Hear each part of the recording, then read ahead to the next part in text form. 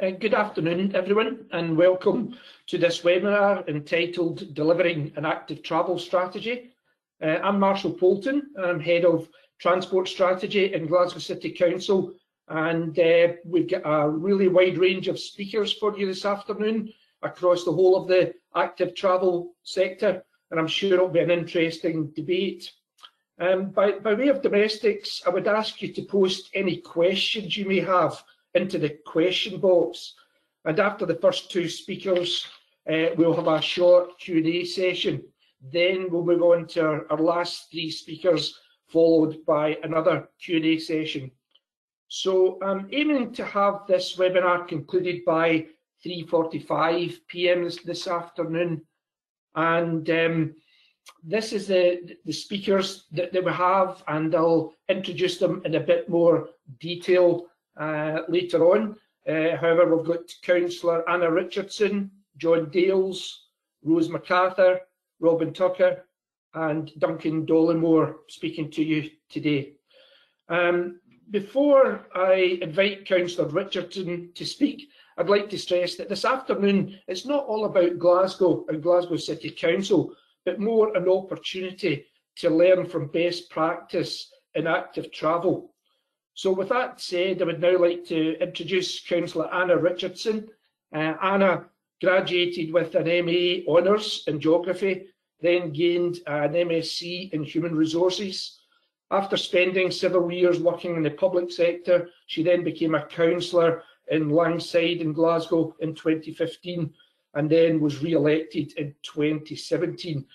She currently holds the position of City Convener for Sustainability and carbon reduction in Glasgow City Council. And certainly from personal experience, I know that Councillor Richardson is very dynamic and passionate about active travel and she's given ourselves, my teams, the political drive in getting to the current position. So with that, Anna, uh, over, over to you. Thank you very much, Marshall, for that introduction. I'm absolutely delighted to be here as we launch this consultation today. First of all, I'd like to acknowledge the work that has gone into getting us to this stage by a small but incredibly dedicated team during what has been, for all of us, a very challenging time. Since the publication of the Council Strategic Plan for Cycling in 2016, we have seen a huge amount of change, both in terms of our climate ambitions and our acknowledgement of the key role that active travel has to play in our transport network. I think that's reflected in the step change that this strategy now offers. The new strategy had a big job to do. It was to determine what would be required to achieve a real network accessible to all by 2030. I believe that the team have risen to that challenge and that that ambition runs through every page of this document. So today I briefly want to draw attention to some of the underlying themes in this strategy that I believe make it potentially transformational for Glasgow. First of all, it's a strategy built around addressing inequality. We know that we can improve lives by enabling more transport options, in particular within communities that have been disconnected from work, education and other opportunities. Active travel is cheap and it's good for health, as well as being an efficient mode of transport. And we have relatively low car ownership in our city, though this is unevenly distributed. We need to ensure that car-free living is a positive choice and one that doesn't detrimentally impact on the independence and mobility of our citizens. And it's time that we reallocate our road space in fairer ways that reflect the inequality of giving so much space over to cars when many sections of our communities cannot benefit and indeed may be actively harmed by the status quo. We also identify public transport as a key part of our transport network. So we've included actions that will improve access to bus stops and train stations too. It's absolutely crucial that sustainable modes of transport work together, not against one another. And walking and wheeling already form part of so many everyday journeys, but there's potential for that to be even greater when we remove the barriers to those journeys. These routes need to be and to feel safe. So we'll work on pavement clutter, dropped curbs, improved pedestrian crossings, and avoid shared space wherever possible so that our streets feel welcoming to all. And when it comes to cycle infrastructure, we'll work with stakeholders to make these designs as inclusive as possible, both for non-standard cycles and for the other people who may interact with the cycle lanes, such as pedestrians when they're wishing to cross. street design will always throw up conflicts and require compromise. So let's get this right, because then we all benefit from streets that work for every part of our community. The babies and buggies and the children on scooters, as well as our elderly and disabled people. And when we talk about infrastructure being accessible for all, we must also focus on groups who may feel more vulnerable, not only from traffic, but from other threats. We've been very clear that our city network will be an on-road only network, and we refer to the importance of lighting and passive surveillance. I won't be the only one here today who makes choices every day during the winter months on whether it feels safer to cycle among busy traffic or through a quiet green space. But I'm pretty certain that the women among us feel this even more keenly. By building the city network, we'll no longer have to weigh up those risks. We'll simply be able to ride home. Parks, green spaces and our canals are vital and valued resources, and we will of course continue to link them to the network. But they're not on their own a transport network that we can all make use of equally. This is feminist city building. So I've already made reference to the city network, but as it's such a key aspect of this strategy, let me highlight it once again. We're proposing approximately 270 kilometres of cycle lanes to be in place by 2030. If we're to create significant modal shift and the decarbonisation of our transport system in under a decade, then nothing less than that will do. And we have many ambitious projects already in construction or in the pipeline that contribute to this network, as well as bringing significant public realm improvements. These range across the city from Woodside to the avenues, from the East City Way to Yorkhill and Kelvingrove. But we now need to address how we pick up the pace to deliver a large number of additional kilometres of network every single year. The revolution in project delivery that occurred during the pandemic has shown us what is possible. Spaces for People certainly wasn't perfect, and indeed I never want to roll out major changes without any consultation again. But it achieved incredible things under the conditions, and that so much of that will now become permanent is testament to that achievement from our team. The pandemic's legacy on our roads may now be Spaces for People Plus, an approach that will take the best of the speedy rollout, but done in a more coordinated and considered way. Let's not forget that as life becomes a little more normal again, we must work with the determination that the climate emergency demands of us. There will be challenges and hurdles ahead, but I know that we're now ready to take that on. There is far more in this strategy across the many themes than I can touch on today. I look forward to seeing the results of the consultation and where we can strengthen this document even further. In the action plan, I see reflected back the solutions to so many of the barriers and frustrations that I've experienced myself as well as in countless conversations and emails with Glaswegians that I've engaged with in my four years so far in this role. I hope many of you also feel seen and listened to as you read through the strategy. So let us know what you think and then join us in delivering this active travel transformation for Glasgow. Thank you.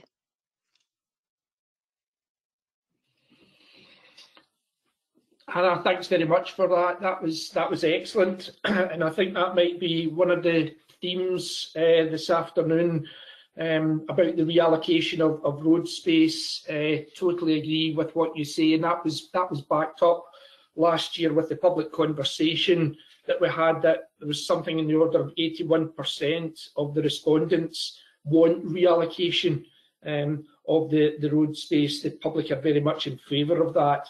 And I think it was something in the region of 77% of the respondents uh, supported people in place uh, being prioritised in the city centre. And obviously, Councillor Richardson has taken that on board and fed uh, this, this information and direction back to um, to our, our teams. So thanks very much, uh, Anna, for, for that. And uh, could I maybe invite John Dales now?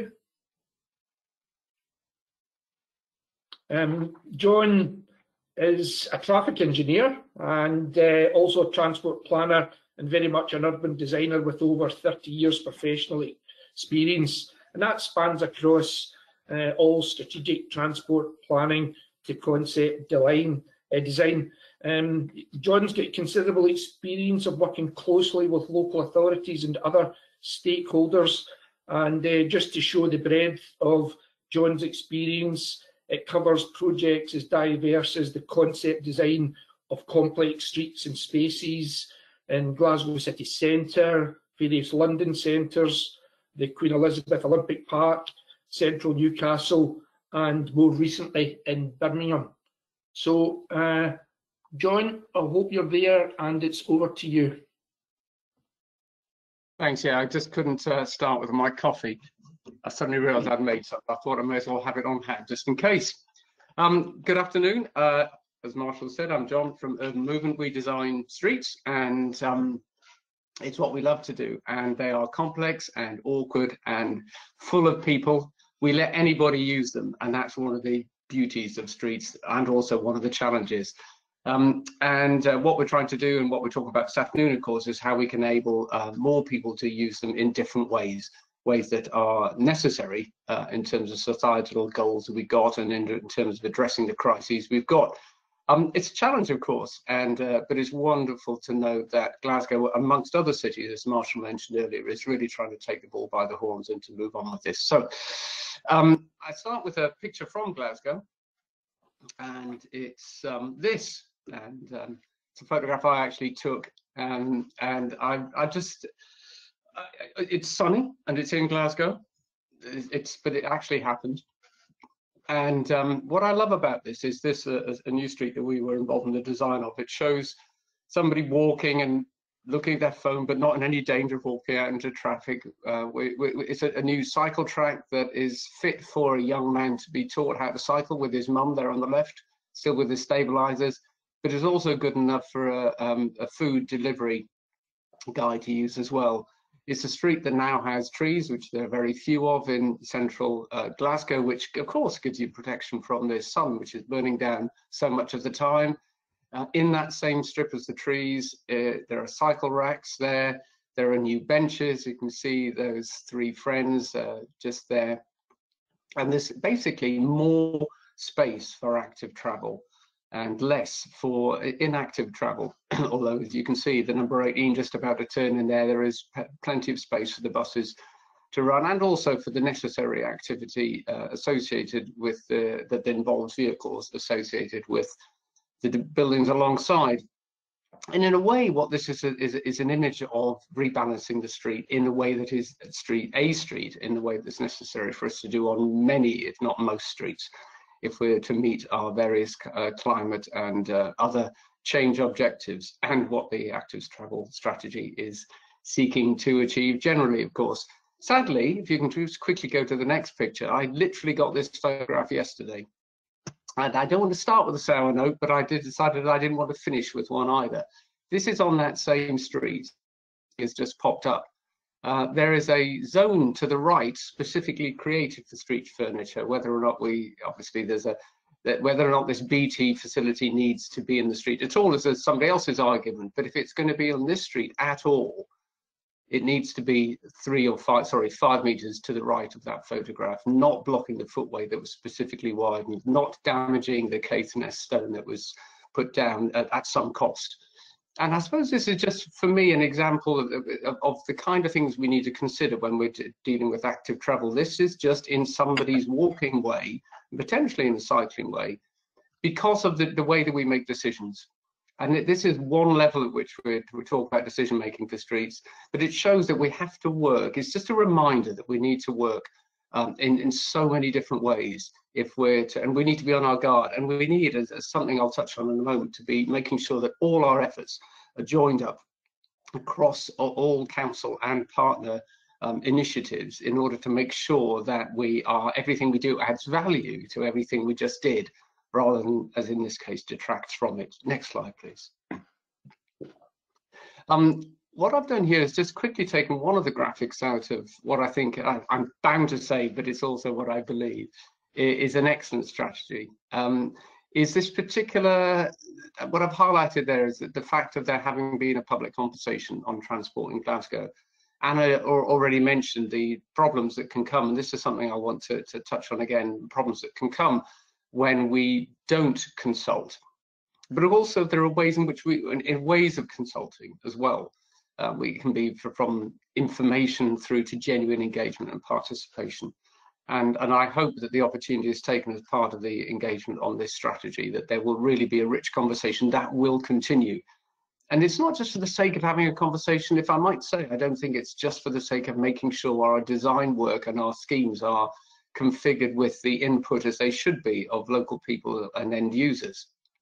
It's more because the process of engagement, I think, is vital in continuing, continuing, starting and continuing to roll out the message and a public understanding of the fact that change like this is necessary. It's not some from on high initiative to achieve some goals that might seem remote to most people. it, it is it's something that's much more important. It's about your life and, and mine.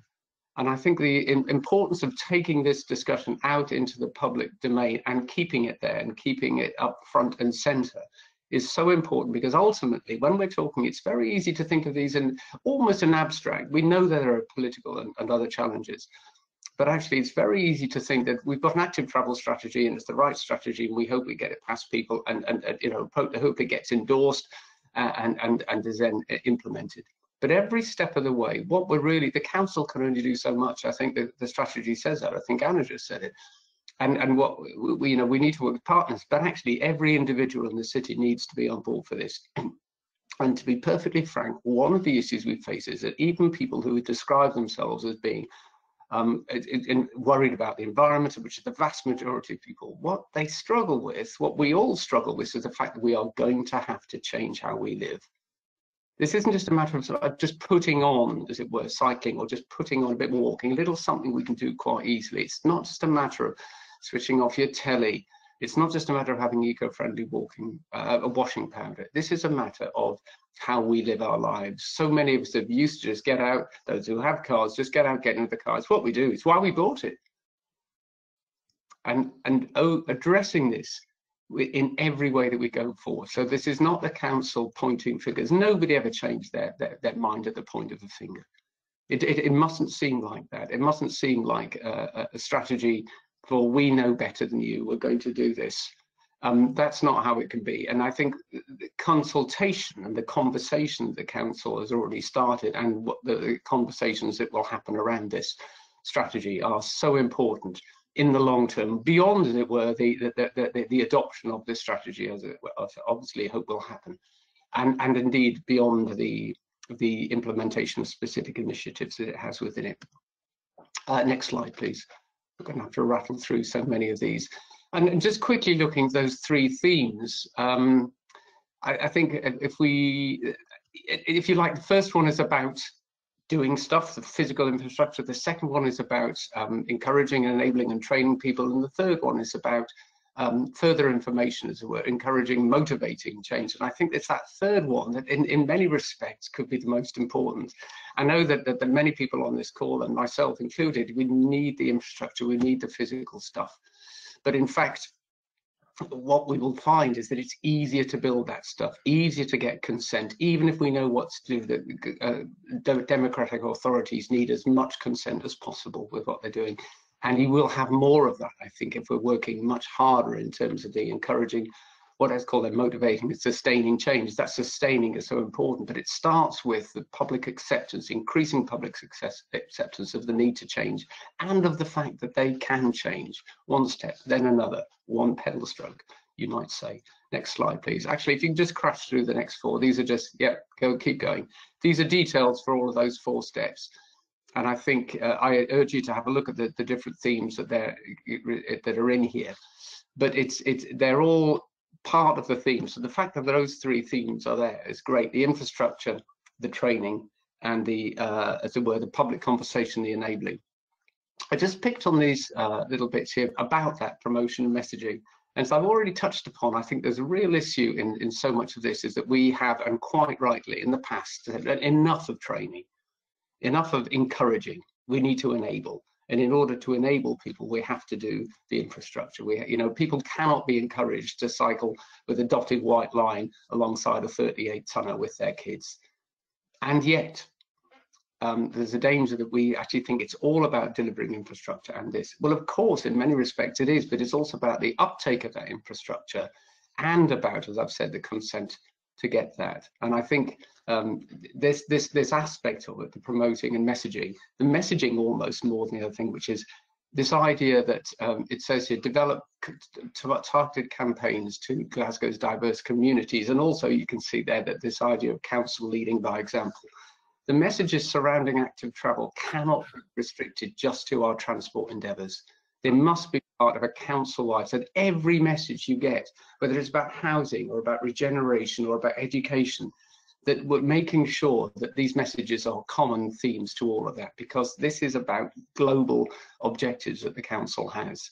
Not just about climate change isn't just about transport, it's about so much more about how we live our lives. And the, the connectedness of these messages, I think, is important. If I might go back for a moment to that BT thing popping up on Sauchiehall Street, that's just an example of the fact that our wires have got crossed, or, or rather that they that various synapses haven't joined up yet. Really important to do that. Next slide. So, uh, as Marshall's already said, we're not just talking about what's happening in Glasgow, and actually what's great is that is that other cities are doing this at the moment. You, you might be aware that Birmingham is right on the front foot in these in these sorts of things, and in fact, it's just that little way ahead of Glasgow because although you can see that this transport plan was uh, first published in draft in January 2020, they have now had their public conversations or the beginnings of their public consultation, and this very evening, as you'll see later, uh, this uh, the, the, the plan is going before uh, the cabinet in order to be signed off for action.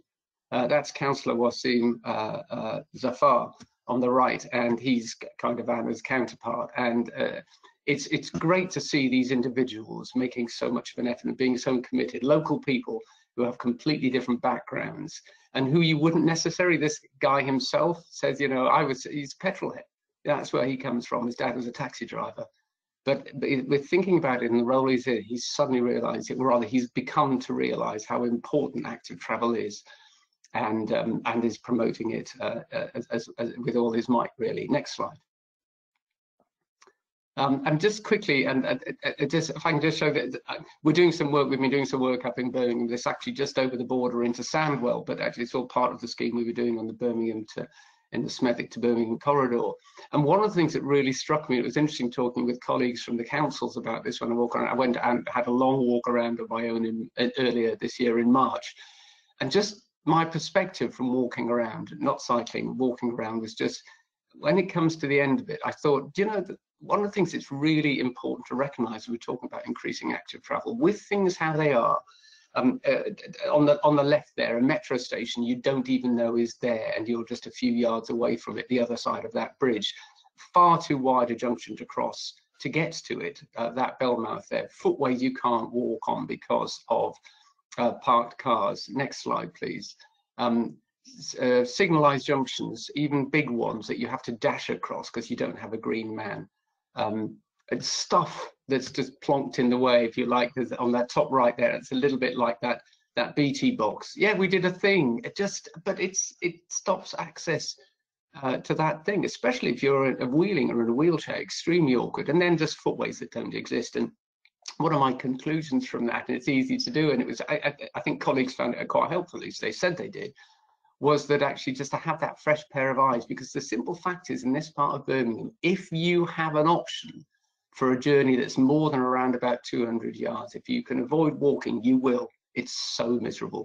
And that's that's a huge gap. You know, if you if you've got a car, you'll do it because you can't walk down some footways. Goodness knows how you wheel down some of these areas. They are just kind of no-go areas in a very ordinary sort of dreadful way.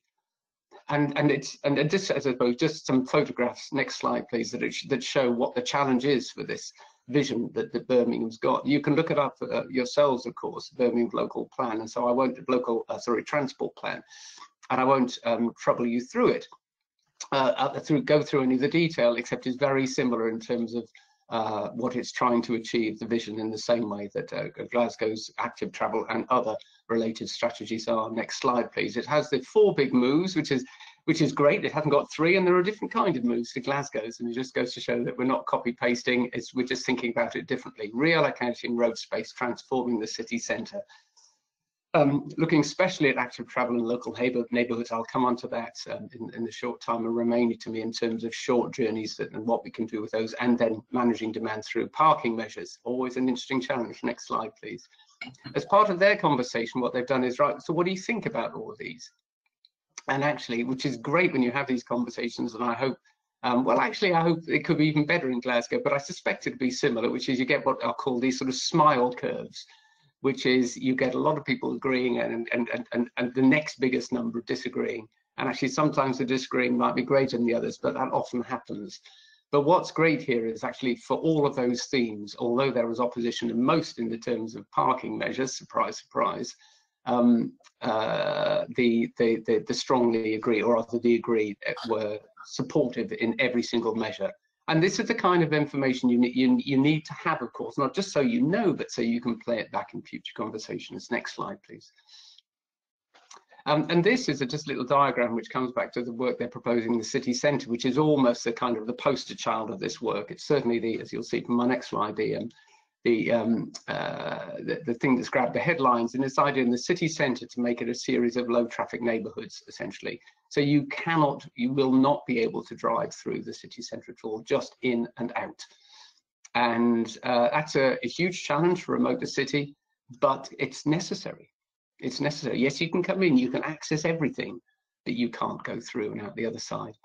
And I think in terms of this article was written by Carlton Reid in, in interviewing councillor Zaffar, I think the thing I've highlighted in red here is the crunch, and obviously Anna knows a lot about this, and, and this comes back to my, my point about messaging, I think, which is although you don't come into politics to, to win popularity context, but to change lives for the better, that's absolutely where Anna's coming from in this, and, it, and it's certainly where Waseem comes from, and many others as well. Nevertheless, if we're to do this, because we have colleagues, uh, we have to get re-elected and all this sort of thing, it's important that we uh, have as it were, the convictions to not cave into to, to noisiness, but actually that we have the information and are working to develop the information, uh, knowledge about how people feel, so that that smile curve, there's going to be more agreeing and fewer disagreeing over time.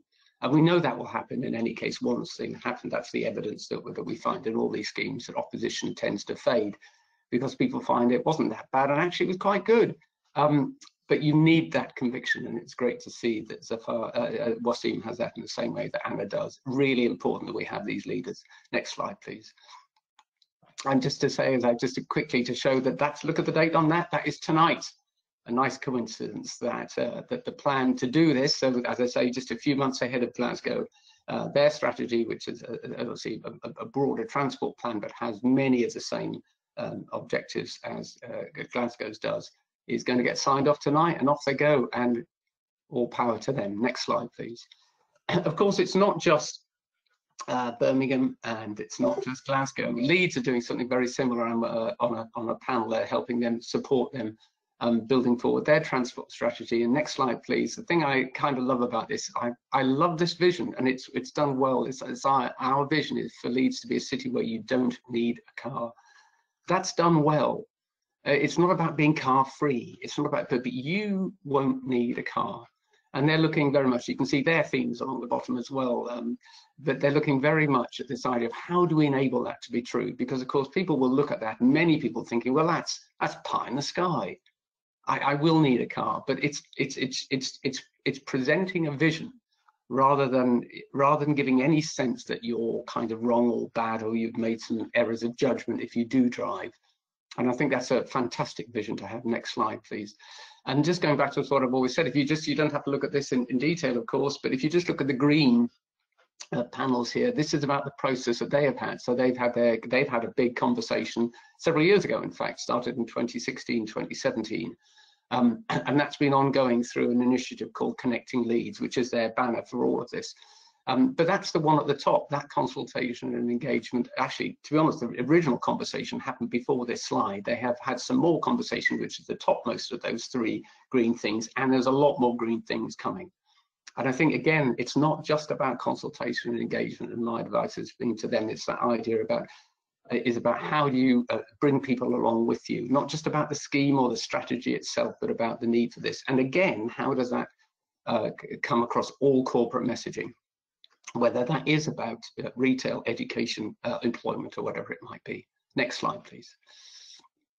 and just finally, it's just in terms of this, it just it happens to be a document that, that, that, that we put together with London Cycling Campaign, which you can download just by Googling the title, How to Talk to People About the Future of Their Streets. Um, I think the key thing for me in this is that is, is that we need to talk to people about this. This is not just about this scheme, but actually the whys, the wherefores. Why would you get on board? Uh, I urge you to download and have a look at that. It, it, was it was it was actually in preparation just before the pandemic, and there are some notes you'll see in it that that bring it slightly up to date. I'm glad to to say that actually, after all the challenges that Anna sort of uh, tangentially alluded to, that many authorities have had in terms of the reaction to the active travel measures that they were obviously brought in without the consultation we would normally have. I think all the um, uh, the, the messages in here are still sound and, and hold water. So have a look at that because I think ultimately, next slide, please. If we want to um, to deliver better places, we have to engage with people. I just shoved this here. It's just a bunch of data. And one of the key things, um, this is my second last slide, that I, that I think are so important, is that it's helpful to explain to people. And if you have this data, use it. If you haven't got it, get it. It's this idea of you know, so many of our journeys are so short. And I know there's that one you couldn't do, you need your car for on that one, but look at the number of them. Look at the number of them. And, and actually for you, you know, everyone where they talk about traffic, what's worse in traffic, other drivers, other traffic. You know, if there's less of it, so your essential journey is easier, then that would be good, wouldn't it? And actually, it's, I think this the this sort of data, the amount of driving that's done for really short journeys, is the way into this um, that, the, the walking can be seen as a mode of transport more than it is just a thing we do. Actually, because you can walk instead of that. You see what requires cycling. So many, 66%, this is my borough, Ealing, 66% of all the car trips starting in Ealing uh, could be cycled in 15 to 20 minutes. You know that's uh, all right you, you can't at the moment you wouldn't think of but there's a huge number of them. Just imagine if you got half of that and, and so it goes. This is great data. Next slide please. And so we end up with if we get this all right if we keep talking if we keep committing to building infrastructure of course this is a, an infrastructure project we're looking at. We really can change the world. We do have to bring people with us on that and i think that's not just because we have to it's because it's good for them if we do you know, we, we are asking you to change your lives, but actually these will be lives that you will enjoy more. These will be lives that will be more fruitful. These will be lives where you're not spending so much time behind the wheel wishing you weren't there. Um, and uh, I wish, obviously, the the the the, the, the transport strategy, uh, active travel strategy, uh, every success in order that we can have more of these in Glasgow and things like these in other cities. Thanks very much. John, that was excellent. Thanks very much for, for that and um, really thought provoking. So um, it's, uh, if we could maybe have 10 to 15 minutes of questions. Since uh, Anna and John have been speaking, there's been a good number of questions come in to the questions box. I've tried to sort them into some form of, of order. Um, and, and maybe first question to yourself, John. Um, one of the comments coming in is I have seen many new cycle lanes pop up recently, but they are not segregated. So that leaves them open to abuse and very prone to, to abuse, such as parking and driving on. So the question is, what's being done by local authorities in general on education to drivers and enforcement? Um, yeah, it's a it's a very good question. It's one you can understand why it, why why it exists. I think I would say personally that I think obviously I majored quite a lot in what I was saying just now about the importance of of, of getting the message out there. Uh, that people, whatever they're doing, whether they're walking, cycling, especially when they're driving, have got this understanding of we need to change and this is why you would do that. I would say I think uh, enforcement is really important um, in terms of, certainly in terms of moving by static vehicle uh, enforcement. However, um, if we're depending on that, uh, change will be uh, incredibly slow coming, even if it does at all. And I think the key thing about some of a lot of the active travel measures, certainly those I've seen in Glasgow and those I've seen in many other cities, the emergency ones that were done, the most successful ones there was where there was some physical separation. And these might just be a planter or a wand or a or, a or a or a bollard of sorts. But I think the key thing then is you know, you know if you're driving that this is a line you shouldn't cross even if you've got a mandatory cycle line lane there, a white line, it is just paint and it's easy to cross. And if I'm just popping in for the thing, or that's my hairdresser's there, or the ATM is over there, uh, people will do that. And with the best will in the world, although it's obviously out there, and Anna knows better than I do, and you do, Marshall, I'm sure, for Glasgow, um, you know, it's out there that, that the idea that, oh, the council are making a mint of all this enforcement. It's plain you're not making enough because if you're making that much money, you'd be out there all the time pinging everyone all the eh, pinging everyone all the time. I should say that when it comes to enforcement, my view that actually the ideal number of fines. Sorry, there's my coffee machine switching off in the background I shall just wait for it a second if you can hear it. I, I would say that the, the, the ideal number of fines is zero. What we want is is is for these lanes to be respected, uh, and, and and similarly, and for people not to park where they shouldn't. So I, I, think enforcement is important, but I think enforcement will be much easier if there's also physical protection. And I think one of the things we've learned in the last year and a half is how effective really cheap stuff can be. You can have a much better public highway grab much quicker, much more cheaply. You can get more done quicker if you're losing using light touch measures. Um, and therefore, I would say that, that, that we are we need those. Um, if you're thinking about greater enforcement, fine, but actually you could focus on that till the cows come home and it won't do the trick. You need that as well as some kind of physical protection. Okay, thanks a lot for that, John. Um, Anna, maybe on the same uh, subject matter, safety, and in particular safety for women and girls. Um, do you think that's more about cultural and social changes and what behaviour changes would you like to see being put in place? In terms of my the comments I was making um, in my opening remarks around uh, the impact of our transport network on women, I think it's something that's been um, at the forefront of so much uh, public discussion. Um, again, sadly, in recent weeks, um, and it feels as though we have a lot of these conversations in very um, reactive ways to the the never-ending tragedies that, that we have um, as a society. Um, in terms of the active travel strategy, one of the things that was really important to me was that we designed a strategy that didn't just have a, a section on equalities or didn't just um, reference them, you know, towards the end of the document, but actually ran these principles right through. Um, so when we're looking at the city network um, and, and the development of the infrastructure, but also through the behaviour change sections of the, the document, we're looking at how are we continually doing everything we can to ensure that this is not only accessible and welcoming um, as, as a city for women that want to, to do walking, cycling and wheeling, um, but how are we proactively trying to um, to almost build in uh, what those groups need.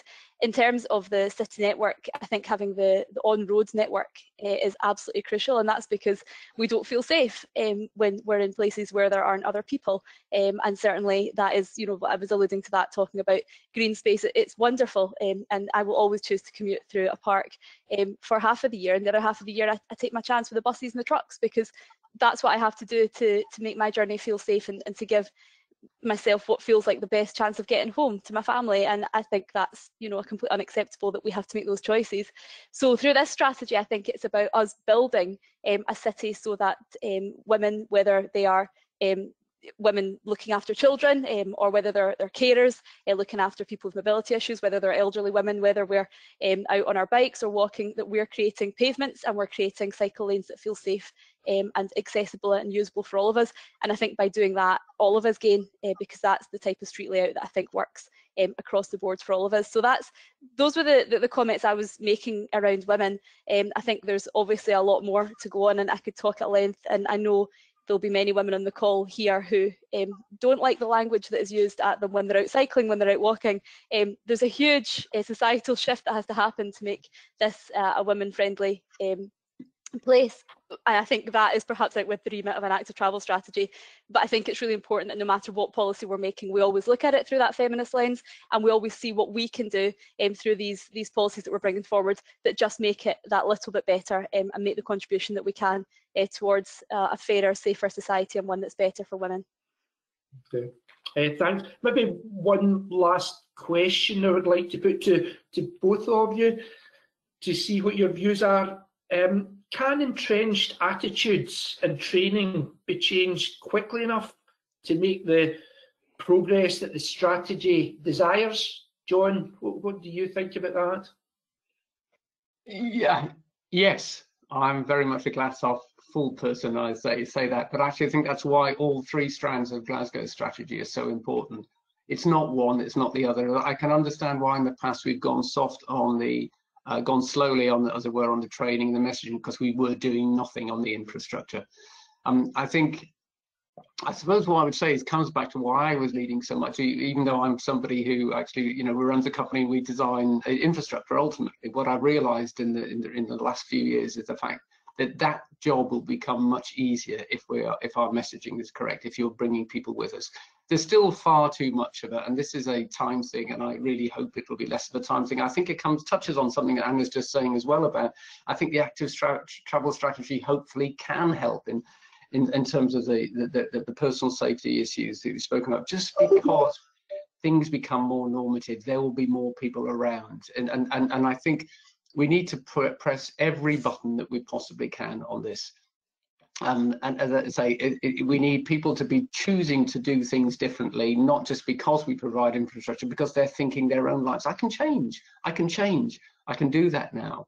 Um, and so I think I would, in, in many respects, I, I, I, in terms of the themes in the active travel strategy, I play all of them as hard as, as, as the other. You need all that, but the, the training is very important as well because even if people do that, there, there are loads of people I know, friends of mine, you think, oh, I just I feel wobbly, you know, that it's at that level, and then other people who just think, oh, I don't have to, I don't need to. Why would I? I still just jump in the car because I haven't quite got it yet. The personal message for me. Um, so I think I think all those three strands are important, and, and I'm glad they're all there. Great. Um, Anna, is there anything you want to add to that? Or do you think John's covered it all? No, I think um, I'm pretty glass half full as well. Most people would would probably say that. And out of the deep darkness that uh, came from the COVID pandemic, I think the one of the very small slivers of silver lining was the change that we saw in the way that we do things. I think nobody that's lived through the last two years now can say that, oh, you know, we, we can't react in a crisis, we can't act in an emergency. And I think, you know, we say it in the active travel strategy, I said it in my remarks, we're moving from a COVID crisis back into the climate crisis, which is even bigger and is going to be even harder and it's going to be something that requires even more tenacious and, and determined action from all of us. Uh, and so I think everybody, whether within the profession, whether within local authorities, um, all of us showed that when we had to do something, we could do it really fast. We rolled out more kilometres of cycling in that year than we had in the years previously that I was in this role. And I think um, that showed that we can do it. Um, what we just need to, to do now is actually deliver on it um, and continue that level of, of, uh, of commitment and keep that pace up. So I think we can do it. I think it's definitely within our powers. Um, we just need to get, get ahead and do it. That's great. Thanks very much, Anna, for that. Um, apologies for the other questions that have been asked. Um, I would like to move on to the next speaker now. Um, well, if we move on now, uh, the next speaker we have is, is Rose, Rose MacArthur. She's the Director um, of Highways and Transportation at uh, Cheshire West and Chester Council. And um, I know that, that Rose was uh, just until recently technical director in Mott MacDonald's in the integrated transport business side of the, the house, where she focused on travel demand management and transport planning for major global sporting events. So um, I believe Rose's passion is to create and deliver complex travel, travel demand management programs that will result in proven and sustained travel behaviour change. So, Rose, great to have you here today, and uh, over to you. Thanks, Marshall. I was wondering what biog that you were going to read there because I couldn't remember providing one. So apologies. Yeah, yeah. I've got a. I'm three weeks into a new role, Um, so for those of you who know me from sort of my travel demand management work, I've, I've moved over to the other side. I'm now uh, in local authority. So Marshall, I think we've probably got a lot to talk about about how, how we do this um, in Cheshire West and Chester. But um, today I'm here because I want to talk to you about the the, the other work that I specialise in in uh, travel demand management. And um, I've got you know I've just been listening to John and and and, and listening to Anna and, and and thinking kind of all about this. My my sort of approach to to the presentation today um, is very much about the macro level behaviour change. Um, it's so interesting to be in uh, the role that I've got now, where I'm actually going to be responsible for rolling out um, programs just like uh, the one we're talking about, um, and and actually sort of seeing it from the from the user side as much as the kind of the council side. But actually my career so far has been actually bringing people to to use the infrastructure that we're talking about to use those networks that we're talking about. Um, and it it just makes me laugh I just sort of how big that challenge is but I'll, I'll come on to why it makes me laugh in a minute but um, yeah so a bit tongue-in-cheek you know it's the delivering of the behavior change. Actually how do you get people to use these networks? How do you get people to engage in it? Um, and really it's sort of all about how to make friends and influence people and like I said the the, the all of my career so far has been literally spent um, persuading and, and, getting people to actually use um, use the mode of travel that we really want them to use. If you just go to the next slide, please. So this this is um, a really really interesting slide, and, and obviously you'll get these after the presentation if you want to pore over it a little bit. And apologies that there's um, a small text in here. So I've I've unashamedly taken this from um, my time at Mott MacDonald and I was sitting through a presentation on climate change and the net zero um, ambition that we have. And, and, this came up, and I don't really can see in the top of that graph that 8%, 8% of all um, the end of the, the, the net zero position, this emission reduction is going to have to come from behaviour change materials. But then that massive sort of teal chunk that you've got in the centre there, that low carbon technologies, with active involvement of consumers. So again, again related to behaviour change angle um, and, and actually delivering um, a, a, change in how we interact. So there's a there's an Aesop's fable and it's called Belling the Cat. And it just reminds me of it all the time that when I see slides like this and when we talk about, you know, this this what we've got to be able to achieve and what we want to achieve together. But the, the fable goes that, you know, there's all these cats in the top of it, uh, all these mice in the top of a church. And every night a cat comes in and, you know, picks one of them off and eats it and they have the little mice have a church meeting and they say, oh, you know, what can we do about it? And, and little mouse stands up and says, oh, we can put a bell around the cat's neck. And then the other little mouse says, yeah, but who's going to do it? And it, just makes me laugh. Everybody's got these great, you know, laudable ambitions as to how we're going to achieve this net zero position from transport, but actually it's going to come from behaviour change as much as anything else, and and how we're going to do it. You know, it's not an easy task. Um, and so that that slide really is just to kind of demonstrate that.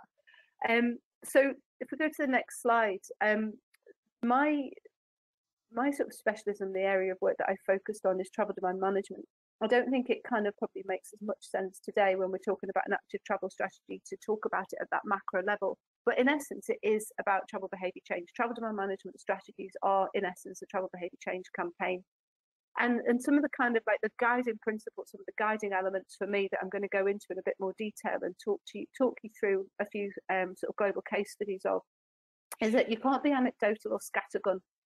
You really can't sort of say, oh, it'd be nice if we did that, or, or, or yeah, let's try and do that. You've really, really got to be data led you you definitely will work best when you've got a catalyst for change or a focus. Now, some of the examples I'm going to give you are, are Glaswegian, the Glasgow Commonwealth Games that um, a lot of you will have been involved with or, or lived through. Um, the London Olympics or the DFT's recent um, uh, return to education TDM strategy uh, post COVID. Uh, so there's always been this sort of big catalyst for change. Without that, you know, what do you need? You do need that focus. So that focus can often be a personal motivator. And so we've talked a lot already um, in the presentations about, you know, what you want to achieve and why you want to achieve it. But you really do have to tailor that back to what that personal motivator is. And and my these are just my four the four ones that I, I come back to are time, money, health, or carbon. So will it save me time? Will it save me money? Will it make me healthier? Will it reduce my carbon? Now, you know, there's people on the call, I'm sure, who will remember the, green travel plan days, you know, and then we dropped the green, didn't we? Because it became about congestion alleviation, and then it became about um, air quality, and then it became about you know, health and movement and, and balancing inactivity with activity. Um, and, now we're probably back in that cycle where carbon is that major motivator again, but it, it, can be all of those four things. It can be all of them, none of them, one of them. But having that personal motivator behind um, why you're asking someone to do something is important in a behavior change cycle. And when you're doing a really big macro campaign, when you're trying to get people onto this network that you're talking about, it really it does kind of um, uh, help to have that single source of truth and then an exceptionally targeted Marcoms campaign, which I'll come on to in a minute. If we go to the next slide, please. So there's um, been a lot of conversation sort of within our discipline uh, and today as well, about, and in the questions, I was really, really interested in reading all of those questions that are coming through about how you know, just wanting someone to do something isn't enough, is it? You've got to manage the network, and so you've got to lock in those parking um, standards that you want to have that will will help bring about the behaviour change that you need. And I saw a really interesting st- statistic again in the questions about, you know, if you actually just try to promote it and get people to do it, you'll get a percentage return. But actually, if you try and lock in that by by looking at that parking policy and that road reallocation, um, you're going to be more effective. So an effective campaign does need to have that management of your network. You've then got to create the capacity. Um, so you've got to, well, it's your cycle lanes, it's your off-road cycle lanes, or um, it's your road reallocation for public bus uh, for, for buses, or your signal reprioritization, or anything that you want to do within that capacity and network. But then the third one is is that changing of behaviour to actually kind of deliver what you want for your city. But behaviour change alone doesn't result in the mode shift to actually balance your transport network to reduce that congestion so that actually people do feel safer on the road if they're walking or cycling um, and to give that bus priority. So it's it's it's all of these three things and, and that's kind of how I um, the, the lens within which I see these things through. So just go on to the next slide so th th this is my attempt to kind of give you a bit of a, a sort of a systems thinking approach. Um, again, this was developed with my colleagues in MOTS when we were looking at um, the Birmingham Commonwealth Games, uh, the new sort of transport strategy for the Birmingham Commonwealth Games and the travel demand management strategy behind how we keep Birmingham moving. But equally so, I know it's been being used at the moment for COP26, and I'll, I'll come on to it again in a minute. So what you what you always start with is understanding the scale of the challenge. So you look at that data and everything is data led. It all starts with data. Where's the propensity for change? Um, you know, there's brilliant tools available to you that show how many people own a bike or have access to a bike um, or have proximity to the lanes that you might want to put in. So everything's got to be data led. From that data, develop your core narrative. What do you want people to do? Do you want them to walk or cycle more, use public transport, drive less, drive a different time, drive on a different route? uh, not drive at all, stay at home, work from home.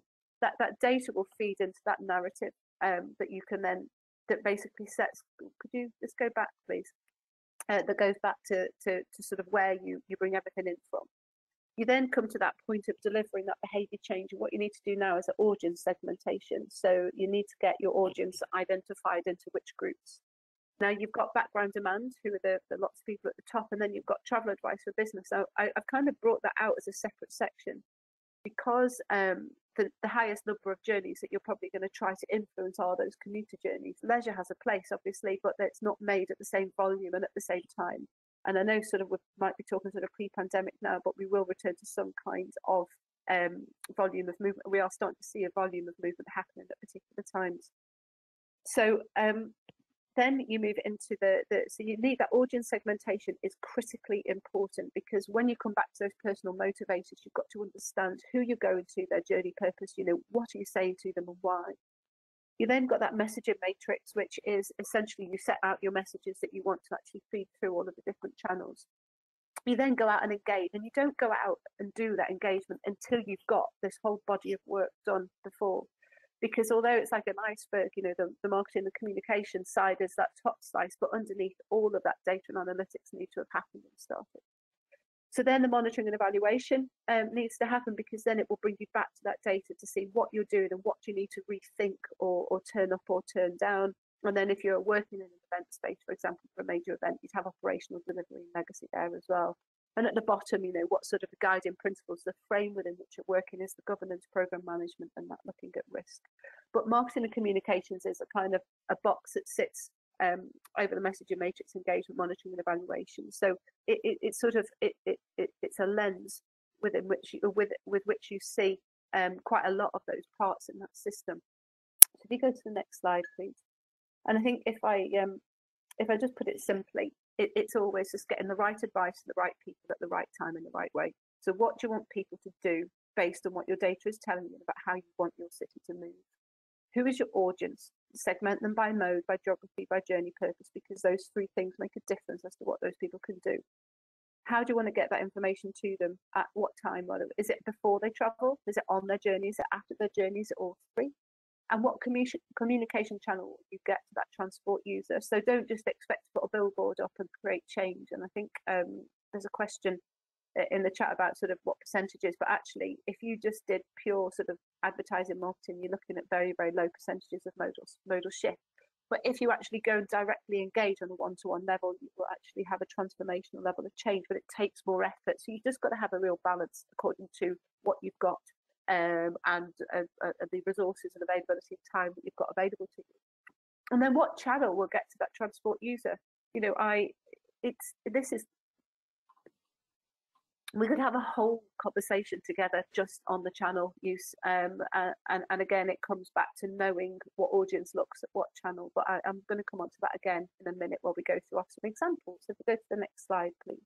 Apologies for my um, nasal tones. I've I've got a, a, bit of a cold, but um, I do apologise if it's a bit horrible to listen to. And then, you know, sat behind all of these, of course, you need those behavioural change principles. The ones I like to use, the ones that we, um, you know, kind of underpin a lot of the work that we do in this space, are, are EASTER, which is obviously our behavioural insights, uh, government's behavioural insights unit. Before it was disbanded, came up with this easy, attractive, social, and timely. They're really, really good ones to use if you haven't come across them before. And if we go to the next uh, slide, please. Now, now this again, I, I, there's some really sort of key slides in in the deck, but that I, I keep coming back to when I'm talking about sort of how to develop and deliver behaviour change. And one of them is touch points, and I'm coming back to that point I was just making about communication channels. If you want to get 10, 20, 30, 40, 50, 60 percent you can do you can do um, you know a touch point with leisure travelers where a touch point will be when they see something that tells them what you want them to see so you know cycling could be quicker or we've got active travel lanes and they're fantastic use them and then you have businesses and you probably you know should look at doing sort of one-to-one advice with them. Uh, travel in public you might need three to four touch points without using radio. And freight you might need to go to 10 operators. Excuse me. So that's to kind of get a 10 and then to move up and up what you need to do oh sorry. What you need to keep doing is increasing the number of touch points oh sorry it's not oh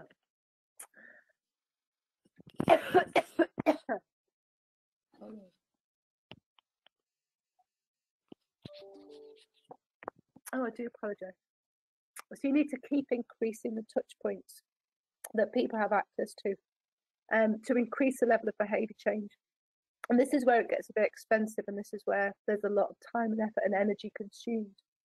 But it's where you get the results, it's where you really, really do start to see the impact of what you're trying to achieve. If you could go to the next slide, please. So I'm going to rattle through a couple of examples. So this is the London Olympics. Obviously, it's nine, no, how many years ago now? Uh, many years ago, nine years. But it really set the standard. It set a base, a baseline, and a kind of a benchmark about what you could do if you had a lot of money and really, really wanted to kind of get a message out and achieve enormous behavioural change. So we had Twitter, we had um, you know journey planners specifically built journey planners. We had websites with interactive maps on it. We had everything that you could possibly get your hands on and we spent 36 million on it. So, you know, if you're going to run a campaign, learn, learn from the ones that have had the money spent on them, and then just take what you like from them. So if we go on to the next one, please.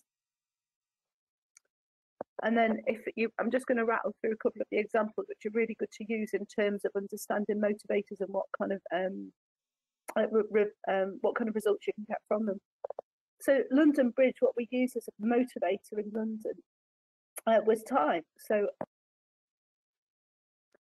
so here we were saying, well, actually, if you waited and tried to catch a train at these particular times, you'd be waiting on that station for, don't know, 30, 40 minutes. You don't want to do that. So why don't you travel at a different time?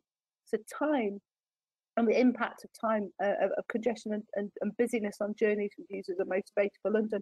But what it motivated people to do was to actually get on their bike and to walk. And we saw the highest legacy results from cycling from the London Olympics using, um, you know, reduction in um, or, or, time spent travelling as a catalyst to move people to, to cycling. So um, if you just go to the next slide, please. And then, you know, cycling could be the quickest way. Again, think about that motivator in terms of movement.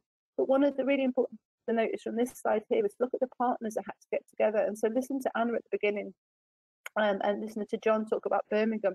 You know, the number of people that you have to get across something um, to actually uh, to, to, to, deliver these kind of projects is immense. And one of the slides I wanted to put on here but took off at the last minute was a governance structure that I had to put in place for all of the stakeholders and partners that we needed to get together to actually have a sensible conversation about um, you know who we would need to engage with uh, politically and, and in any other way to actually deliver um, uh, just a behaviour change campaign that said something like this. So it, it's it's quite an important point if you're thinking about doing this is to make sure you've got all your partners lined up. So if you go to the next slide, please.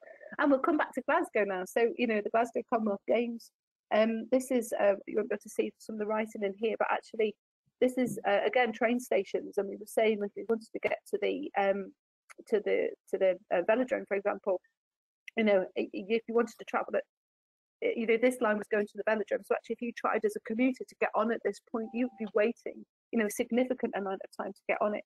And again, that the, the motivator was time um, and, and, disruption to journey. And then we followed up by saying, but actually, if you cycled, it would only take this this long. So if you could just move on to the next slide, please. And then this was, you know, I'll just rattle few through these now. But this was a public facing kind of element. I don't know whether you remember these but you know beat the traffic um, and so looking at the dates so that single source of truth that i talked about that that that kind of that that narrative that you never defer away from um, you, you keep it going and you're kind of steely in your resolve about what you say and why you say it. And you always point people to one single source of truth. So get ready for get ready glasgow or at games travel 2014 so go to the next slide please. Again another one here. Um, just a couple of examples. You might have seen us at bus stops or above the stations you know, it will be busier, the games are on their way, but these these rolled out and they got more and more, and more. And these are the touch points I was talking about before. If you want to um, do that, this is all the kind of above the line communication regarding the games. So actually, we could flick through the next ones quite quickly, I think. And COP26, which is just about to come onto your doorstep. Um, lots and lots and lots of work being done on the behaviour change piece there, understanding what's going to be busy, when and where, and by how much, and what we want people to do differently. Um, you know, even Graham Day here saying, I urge commuters, businesses to take time to read the transport plan, familiarise, themselves with the road closures. But behind this sits the next piece of advice, which is walking and cycling could be a quicker way of making your journey. Here's a map, and here, here's how you find that information. Can you go to the next slide, please? This is Sydney.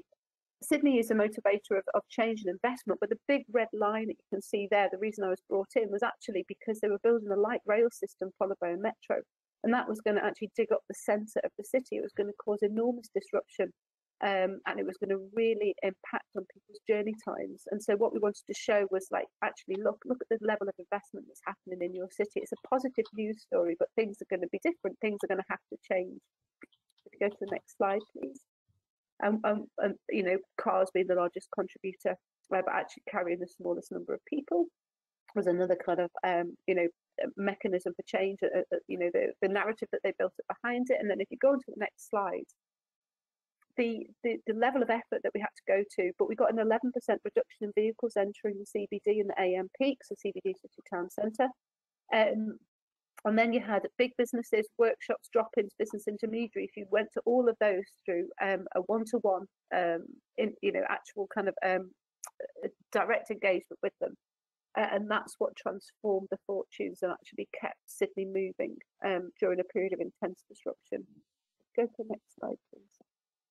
And then, you know, these are just um, just to show you the kind of thinking about those touch points, thinking about the number of times that you need to remind people that you know to, to do something or to, to get on board or to go somewhere for more information. This was just a, you know, some of the collateral that we used that we used on the Gold Coast Commonwealth Games.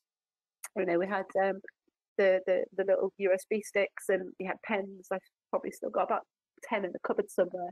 Um, and you know we had water bottles we had bags so again these are all touch points They're just ways that you help people see this particular campaign if you go to the next slide please and then the last one to tell you really was about the, the, the TDM strategy that was used, the behaviour change strategy that was used to be, uh, that was employed um, on the return to education, where there was a 300,000 shortfall of spaces on public transport for children to use to get back to um, back to education. And so um, each of the 79 English local transport authorities actually put in place a, um, a travel demand management strategy to support um, a change in movement and to actually to get children to walk and cycle more. And again, the catalyst this time was, look, there's not going to be enough space on public transport. And this was a big DfT funded initiative. And then on the next slide, we'll just come to the end now. So that I think, you know, just again, sort of tongue in cheek, you can lead a horse to water. You, you can want all of these massively laudable things, but it doesn't necessarily mean they come. So this behavioural change campaigns, these TDM campaigns are actually how you get a horse to drink. Be systematic and data driven in what you do. You know, focus on um, influencing enough people enough uh, and getting to the right people. Link back to those personal motivators. You might want this desperately, but it doesn't mean that they will have your information in don't in one place but but don't worry about maths or journey planners or stuff if you actually you know google will work just fine have that consistent recognizable brand i've, heard it said before um, and then uh, the st- standing strong in the face of the opposition having your narrative set and signed up to don't deviate and always always be data led um, apologies for that coughing fit in the middle. I'm going to mute myself now, um, and I think move on to the next speaker, and I'm going to die in a corner. Rose, Rose, thanks very much for for that. There was a lot of food for thought, and yes, I felt for you there with uh, the coughing. So uh, you can certainly go away and get a nice cold drink of, of water now, um, while we get the other two speakers on. Um, We've got Robin and Duncan still to come, and we're running a little bit short of time. So, Robin and Duncan, if you can try and keep it close to about the 10 minute mark, that will give us about 15 minutes for um, for questions because there's quite a lot of questions coming in. So, um, Robin uh, is the co-chair and of Coalition for Healthy Streets and Active Travel in Oxfordshire. He's got a significant amount of marketing and campaigning experience, both locally and nationally. And uh, Robin works as a as a business con consultant um, in his prior executive level experience at Natural England and Vodafone. He's also uh, a keen cyclist and walking advocate, a trustee of Cycling UK and chair of Oxfordshire Cycling Network. So over to you, Robin. Great, thank you very much. And um, if I go to the next slide, um, I think the, the thing I'm going to tell you, so I come from a, a small town in Oxfordshire, and uh, the question really here is, what can I tell you in the, the great Scottish city of Glasgow, which uh, I thoroughly uh, enjoy visiting on the on the times that I have. And, and really it's a story about the, the value of community input. So I hope I'm talking to an audience that includes both people on the on the various local authorities and also um, perhaps some campaigners and um, and I can tell you some things about uh, working together and the benefits of, of that. Um, so we go on to the next slide. Um, so Ab Abingdon is a, a, market town of about 40,000 people, about seven miles south of Oxford. Uh, there's a little map to help you find it there. We can go on to the next one don't need to talk too much. And um, I, as well as the a kind of larger group that spans the county, um, we've set up a smaller campaign group in the town. Um, and we decided uh, essentially to develop our own LCWIP. So uh, hopefully most of you know what an LCWIP is. It's a, a local cycling and walking infrastructure plan, uh, essentially a plan of cycling and walking routes that um, really is a it's a key enabler of funding from the Department of Transport. Um, it helps uh, councils to also to gain money from developers uh, through planning gain where they're developing houses or businesses. And from a campaigner's point of view, it's also something consistent that we can uh, campaign for. Um, but the, the problem for us was that our, our, council, it's local, it's Oxfordshire County Council, that's the Transport Authority, has very limited resources. Essentially, it has 10 market towns after after Oxford itself, um, but only one person developing LCWIPs, and they were currently working on the rate of about one per year. So we, we could be waiting quite a long time in the queue, and we wanted to uh, get up that queue. Um, and then uh, lockdown came along and the pandemic, and we saw this big boom in cycling and walking, uh, supported by gear change and the emergency funding, uh, and also a lot of us were out uh, volunteering to do medicine deliveries on our bikes, and I, for one, discovered all these hidden routes around the town, um, uh, all kinds of interesting back alleys and things, uh, mostly illegal for cycling. And um, we had more time on our hands, so we thought, let's let's develop our own plan. We go on to the next page. Um, so we uh, this is the process we uh, work through. I'm going to take you through this process step by step um, I won't go, I won't pause through the detail. I'll just give you the general impact of it because it's it's really the fact that such a process is possible and then the pros and cons of it um, that I'll sum up at the end. So if we go on to the next page. Uh, so we formed a team. Uh, it was essentially comprised of people from cycling groups, the sustainability group, um, the Health Walks team, which was uh, partly run with the Ramblers and people from the town council. In all, um, we had about 40 people contributing. We called ourselves Abingdon Liveable Streets. Next. Uh, and then um, I, from the knowledge I'd amassed and talking to a few uh, kind of old timers, people who'd lived in the town for a long time, worked out uh, this network map um, comprised of some main uh, radial routes, and then uh, there's a couple of ring roads and connectors uh, between them. The, the distance from the center, that little triangle in the center to the outside is about two miles. So it's a, it's a very cyclable town. It's pretty much flat. Um, in fact, you, it, it's reasonably possible to walk the whole thing, but certainly for, for cycling, um, it's a it's a very viable route, and um, uh, and this proved a, a, great basis. Once we'd done this, it, it was quite possible to divide the routes up between people. So if we go on to the next page, um, I then uh, drew up a, a, kind of template and a guidebook for the different people who were going to survey uh, the routes.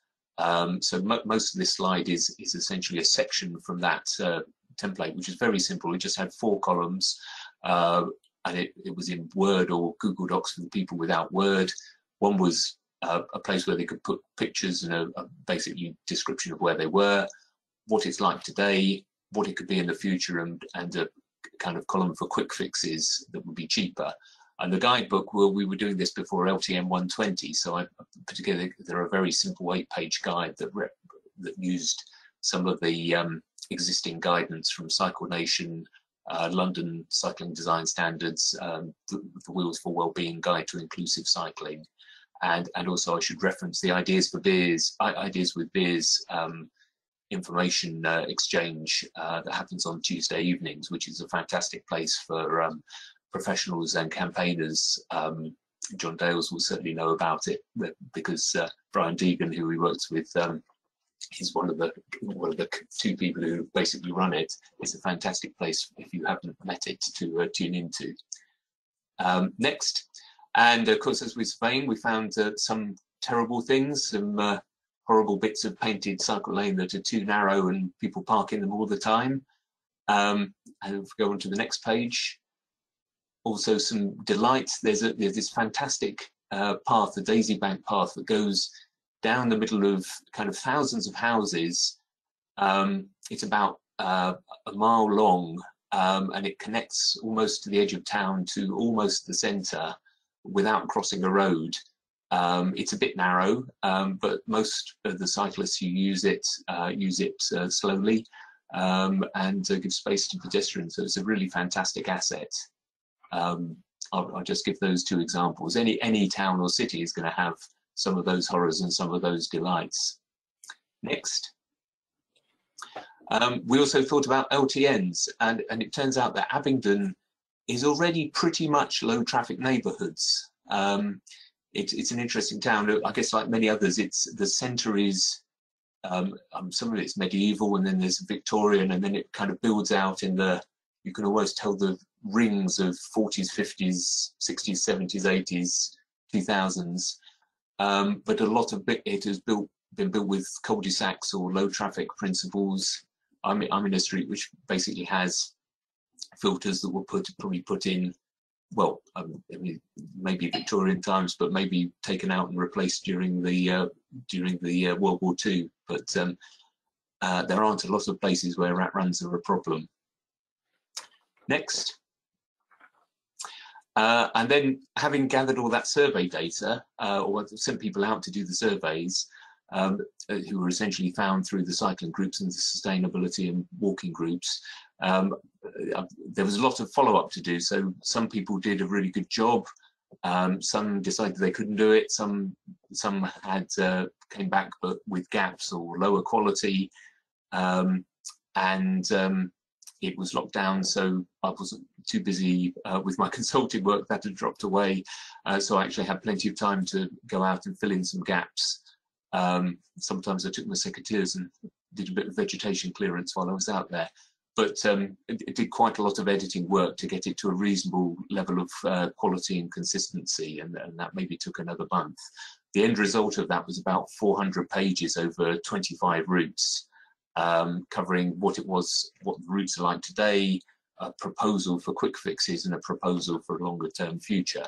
So we go on to the next page, and then having got all that source material, uh, we could compile a summary report uh, which amounts to about 30 pages, um, uh, which we sent to all the relevant councillors and officers uh, in three tiers of council. So we've got county, district and, and town.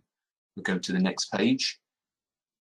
And that really covers, the key thing about that is prioritisation. So we thought about where people want to travel using our own local knowledge plus the propensity to cycling models, where needs improving. So a particular source of that was um, the accident, sorry, don't call them accidents, call them collisions, casualties, casualty data from Crash Map and Cycle Streets, and also what's easy to improve or difficult to improve based on our, our survey data.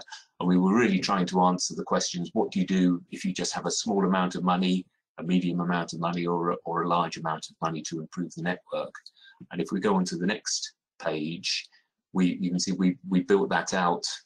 You, won't see much detail on the slide on the screen but you'll you'll see a map kind of gradually changing in color from mostly red to mostly green which means good quality or blue which means LTN 120 standards uh, essentially as you speed, spend more money. So the, the the second stage in this is is fixing essentially five sections of the network which could be done fairly cheaply but have major safety problems and then gradually build, it builds out into a, a, low cost network and then a coherent network before getting to the full uh, plan. So we go on uh, from there. Um, so while we were doing that, um, we had essentially two pieces of good news. One one was a roundabout remodeled, and one was a housing developer had agreed to um, uh, uh, fund one of the routes. And then since the work we've done, um, both Sustrans and the County Council have um, uh, agreed funding for two uh, design studies of particular uh, problems we identified as high problems. So that's a direct result of our work. So that's a, a real positive. And our, our, plan is now being used as input to an official uh, LCWIP. Uh, so we've achieved our initial aim of kind of elevating ourselves up to uh, the priority list. And we're all, Abingdon is also developing a neighbourhood plan, and I'm I'm on the uh, committee for that and making sure that cycling and walking are well embedded in that, which is not proving difficult because the, there's a solid message from the whole community of Abingdon that it needs to be uh, prioritised. So next page.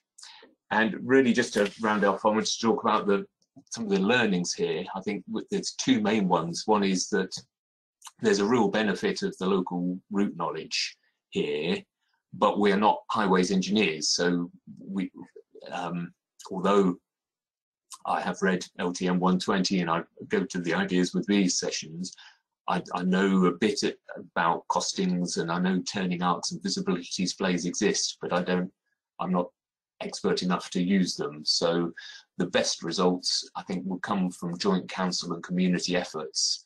And, and that's actually an approach that's being used in two other towns uh, in Oxfordshire. Uh, so the LCWIPs those are aiming to use a mix of um, a, a kind of a council-led initiative, which will use people in the community to do some of the uh, on-the-ground work, which I'm hoping will be a best of both worlds rather than a culture clash. And then, of course, the, the, you may have sensed that this takes time to organise and quality control. So it needs a, a project leader, um, it needs a quality controller, and in Abingdon, I, I kind of volunteered myself to do that um, because I had the time and the uh, the will, but it, it really needs um, somebody to um, uh, step up and uh, uh, do that.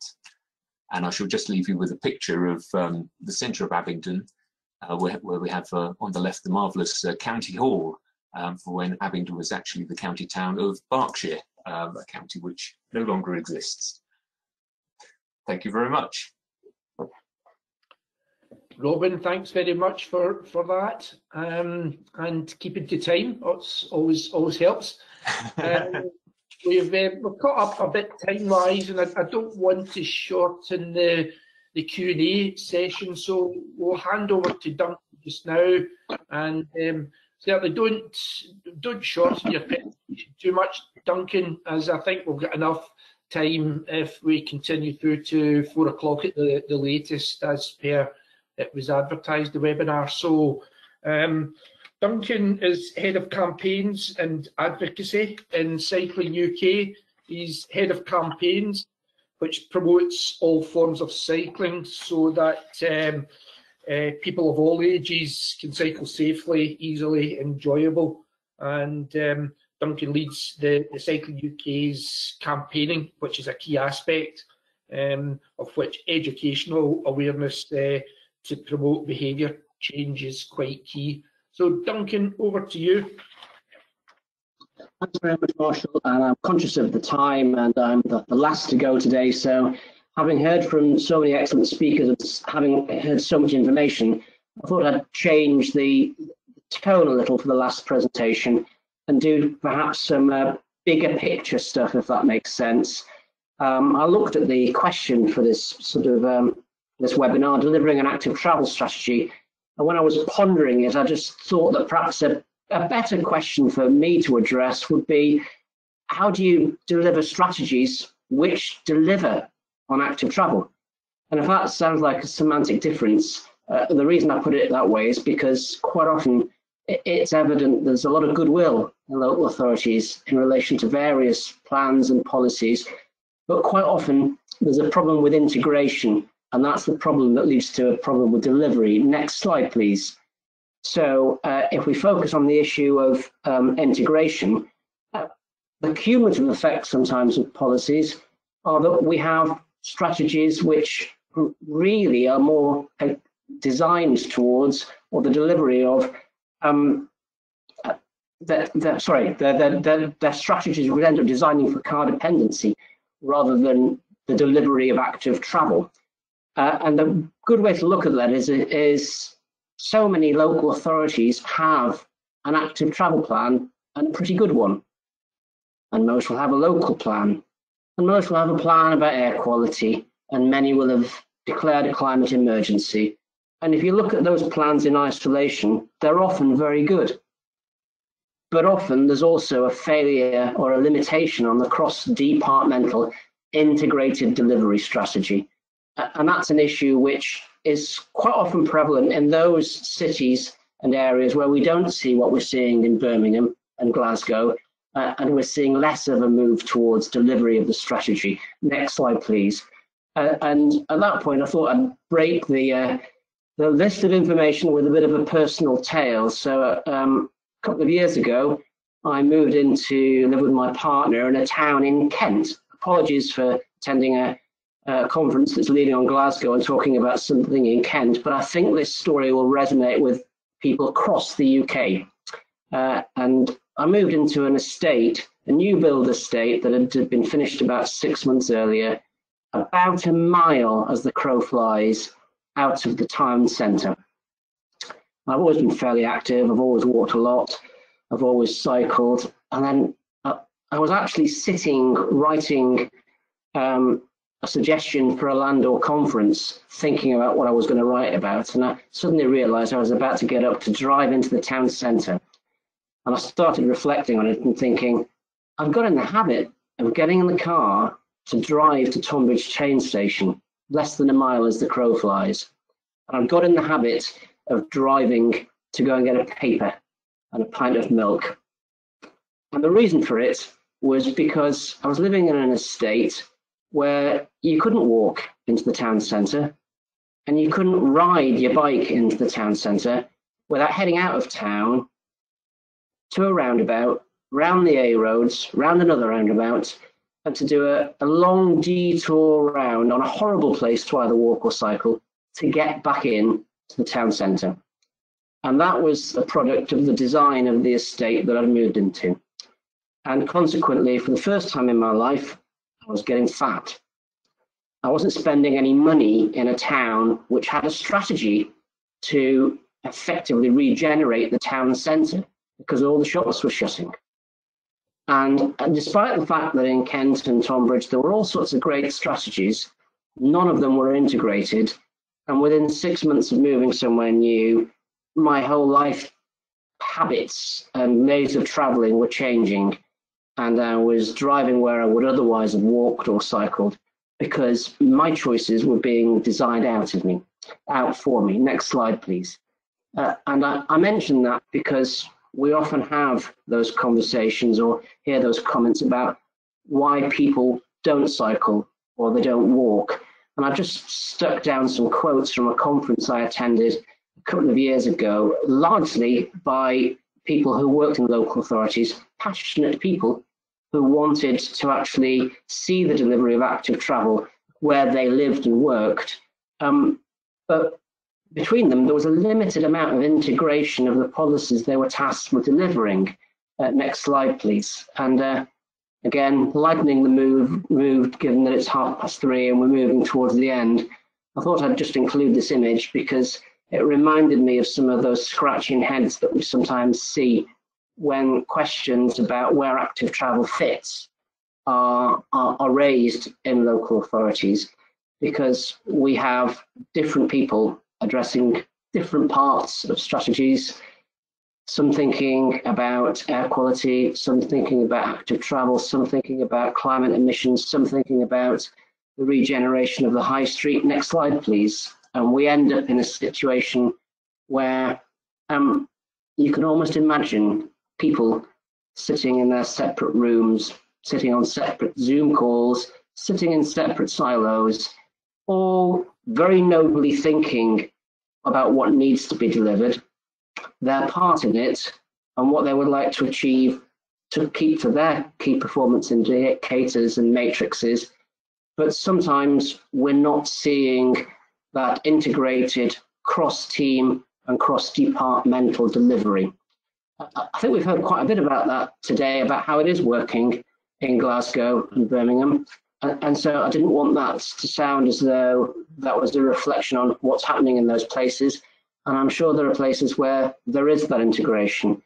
But the reflection I have from speaking to campaigners around the country who are frustrated about lack of progress and to councillors, often active travel officers, who are frustrated about their inability to deliver that which they wish to deliver is that quite often something happens betwixt the plan and delivery. And that's often because the strategy isn't integrated at a high enough level within the council. So I thought I'd throw that open as one of those things that is probably worthy of reflection because that shouldn't be rocket science and it shouldn't be something that's beyond the gift of all of us to try and make some progress with.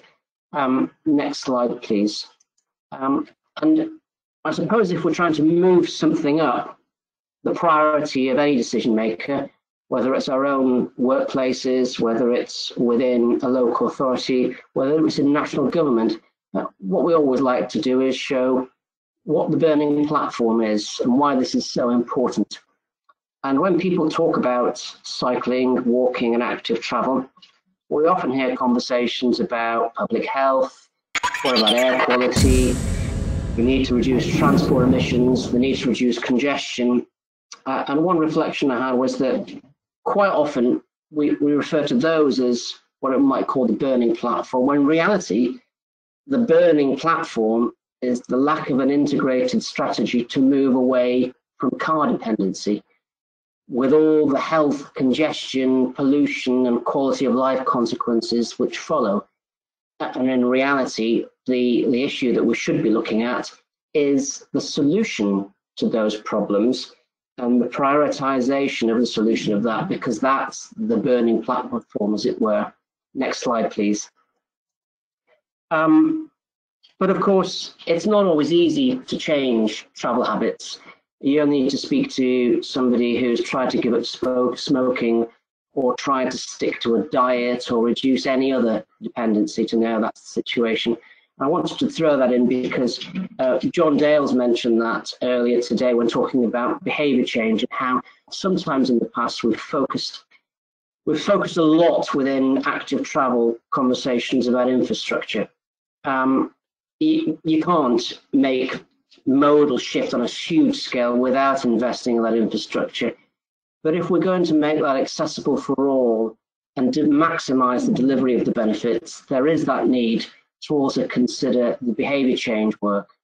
Um, that's been mentioned already in terms of uh, one of our speakers talking about the EAST model, but another way of looking at it is to think about capability, opportunity, and motivation.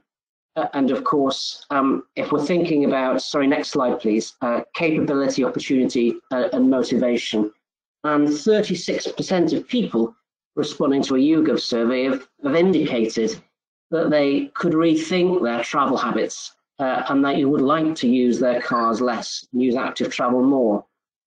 The key to actually living an active travel strategy is enabling them to do so. Um, but in terms of capability, they can only do that if they have access to a bike. And I just thought I'd throw this one in in terms of behaviour change pro programs.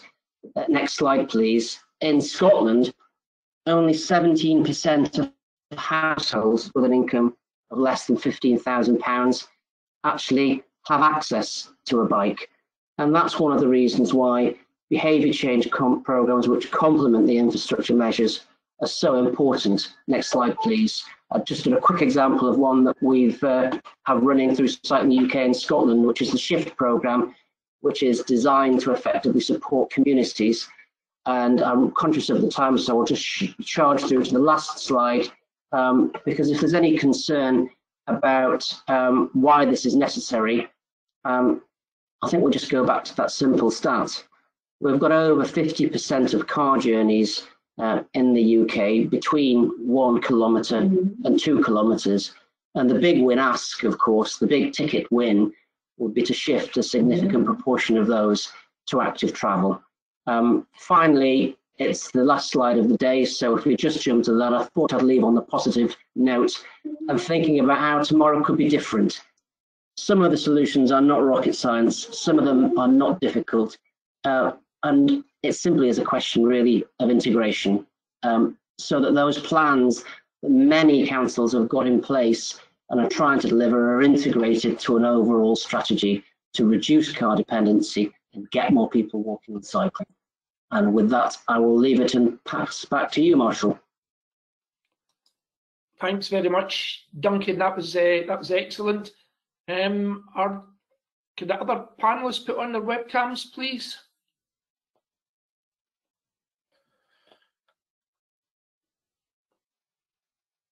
I don't know if uh, don't know if John. Oh, there's John. Right, uh, that's that's great. Uh, well, thanks very much, everyone, for those really enlightening presentations. Uh, as you can imagine, there are quite a number of questions that have have come in. I'll try and try and go through them as, as quickly as, as possible as it's approaching 2024. Um, Rose, there was maybe a couple of questions here that were directed at yourself. First one would be, did you monitor the impact of communications work?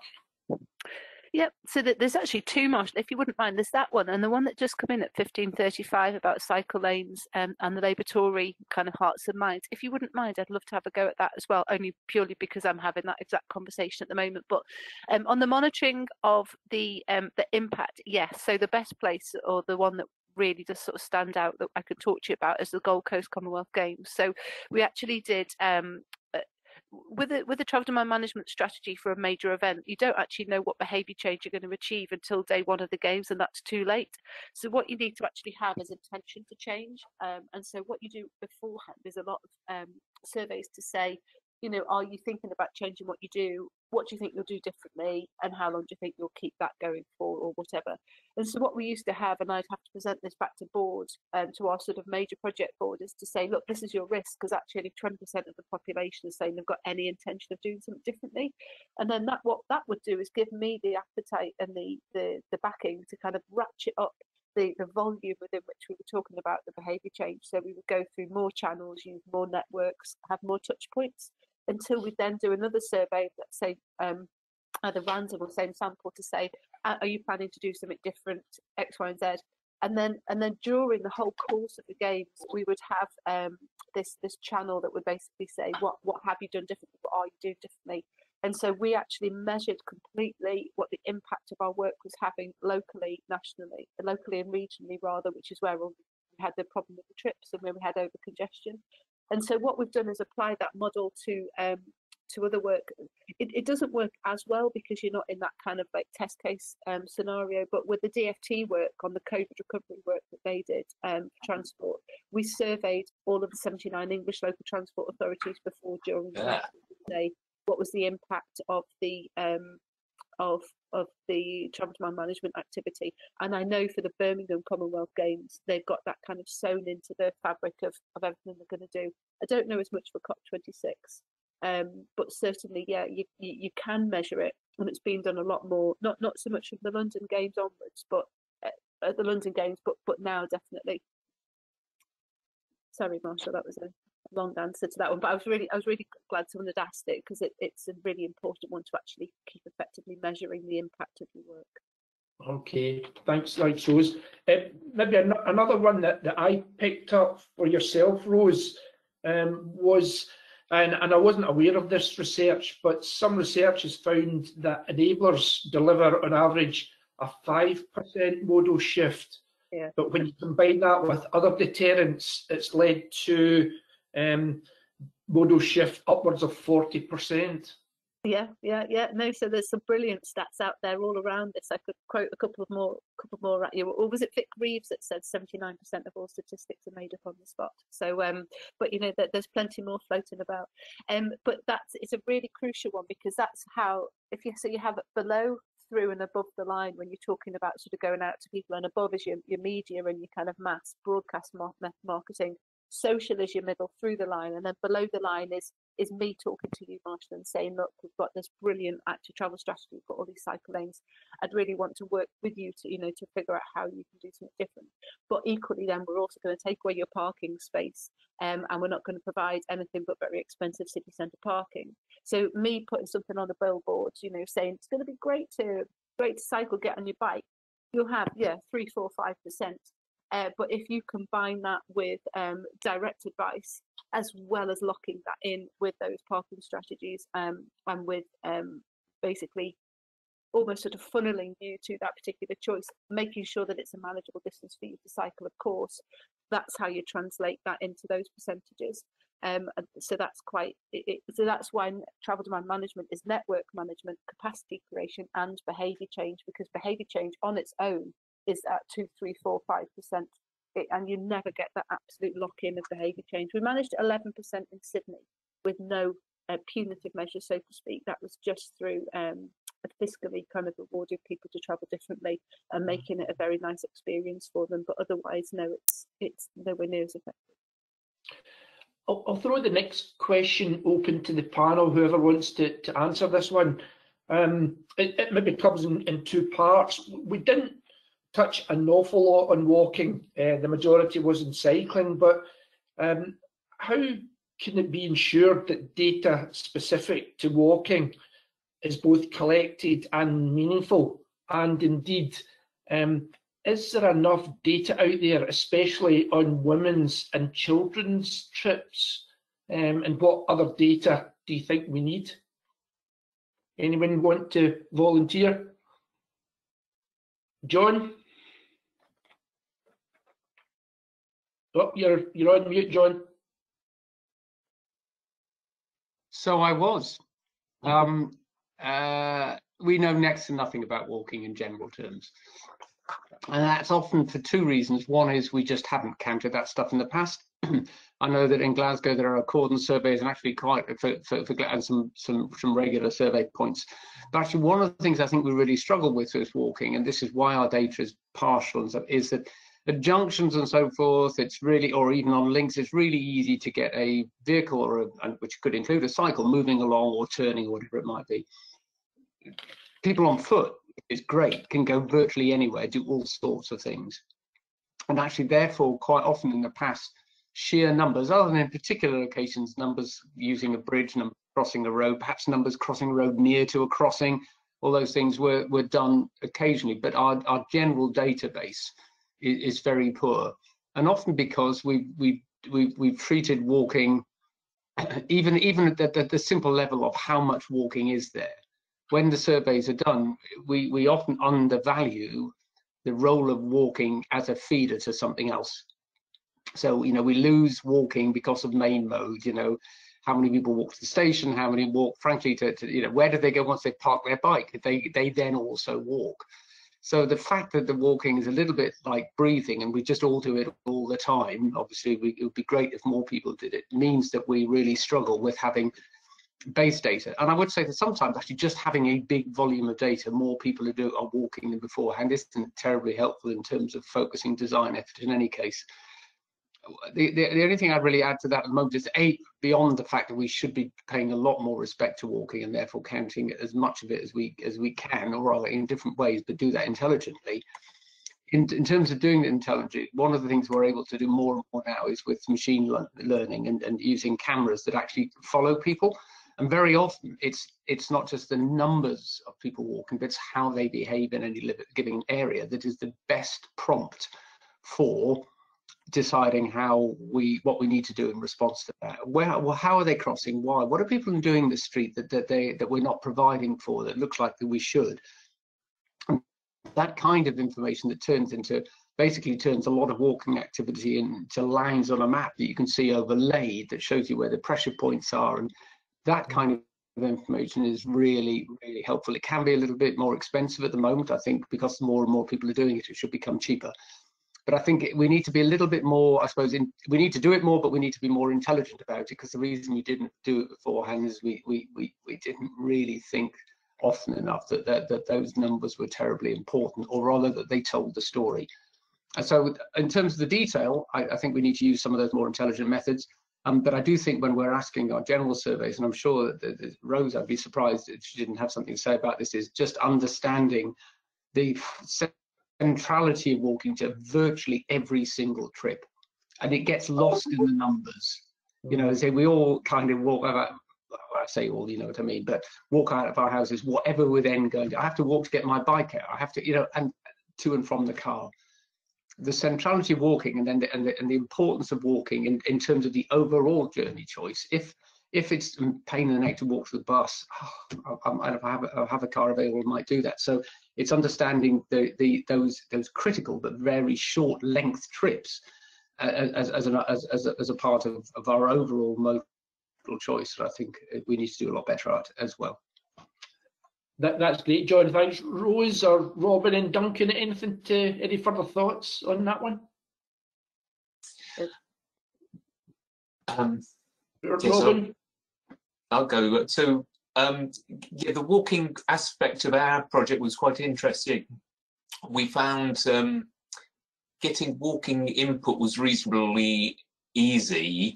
Um, we we got some we, we, as we were socializing it, we got some interesting comments of this looks like a cycling plan, not a walking plan.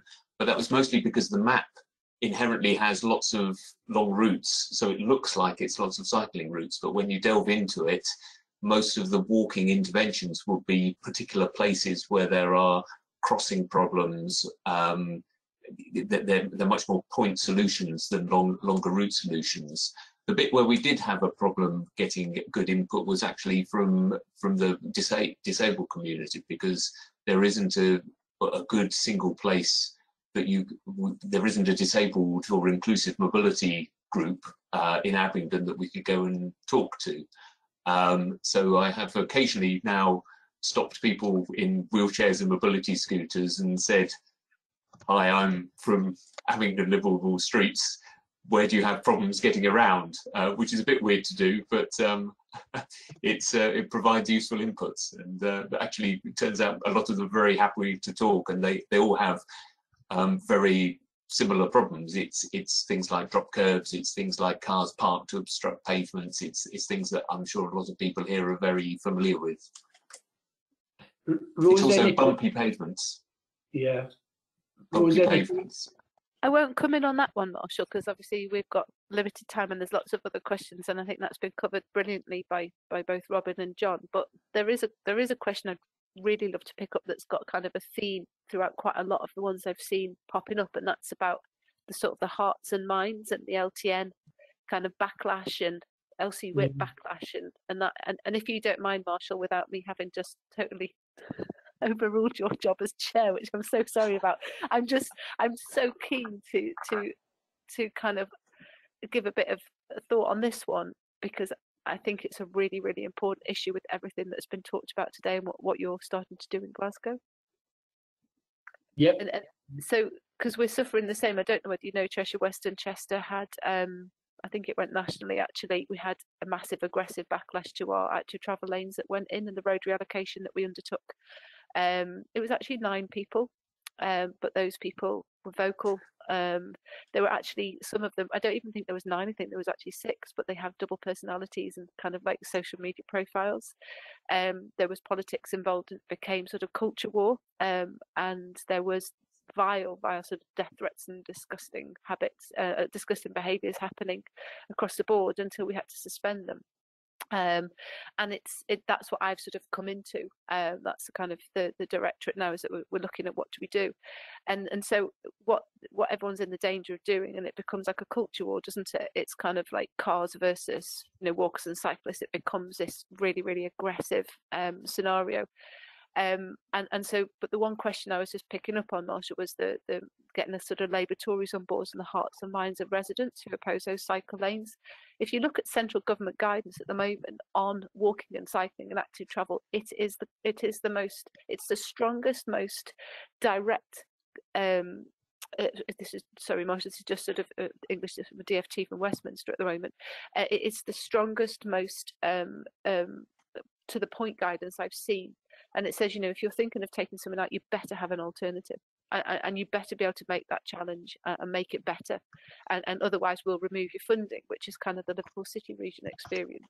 And so, actually, central government under a Tory rule at the moment has this mass directorate to direct sort of direction to, to be to be challenging to do um you know and to do that road reallocation to make brave decisions otherwise funding won't be made available to you. So i think that's a really interesting card to have in your back pocket if you're having to have this dialogue across a you know a, a split. We've only got one seat between our labour talk with labour led only by one seat and actually you know labour are ideologically more sort of set up behind this so you can normally get a bit better engagement but actually it's really useful to use that central government um, conversation back. So if you're not, if you take something out, you better have something better to put in. Um, and, and so Mhm. we're trying to work really, really carefully with our comms department at the moment to get a narrative that we stand behind and that's that we're steely in our resolve and we don't bend because those nine people can't, you know, disadvantage the maybe 600 other thousand who really, really want this to happen. Uh, and so it's not listening to the men, not listening to the few, but listening to the many. Um, but it's, Mm. it's a huge topic. Yeah, I was I was aware that some English councils have recently scrapped several of their their LTNs, and I was just wondering if there's any thoughts from the panel on what this means for similar action in, in other areas. Marshall, can I jump in on on that Yeah. one? And I'm uh, I'm going to try and keep this really non-political and non-nation specific. And it's following on from Rose's comments. Um, I think it would be fair to say that under a Conservative government dealing with transport in England, a Welsh Labour government dealing with that in Wales, and an SNP Green uh, government leading that in Scotland, there are some of the boldest messages coming out in terms of aspirations for active travel that we've ever heard. Here's me trying to be non-political in relation to it. There's a difference of delivery across those, um, but of course, delivery locally is the responsibility of local government. What we're seeing, particularly in England, however, is um, thus far a, failure of the national government to work out what they are going to do if the local uh, government doesn't actually get the message that's being handed down from national government and effectively is ignoring the guidance about what should be delivered and how it should be delivered. And that's causing us probably more problems in England than it is in Wales and Scotland for others, because it's a series of English councils of various political stripes and colours who are pretty bluntly ignoring national government guidance. That has significant implications um, for delivery of active travel in England if the government doesn't decide how it's going to deal with that. And thus far, it's yet to do so. Yeah. If I could just John? add on to, to that, yeah, I mean, my local authority has just done exactly what you said. And and actually it's a conflation of both what Duncan said and what Rose was just saying, which is um, when the measures went in just over a year ago, they were frankly not handled terribly well in terms of comms and messaging. And I think that's stuff, something that Anna alluded to earlier.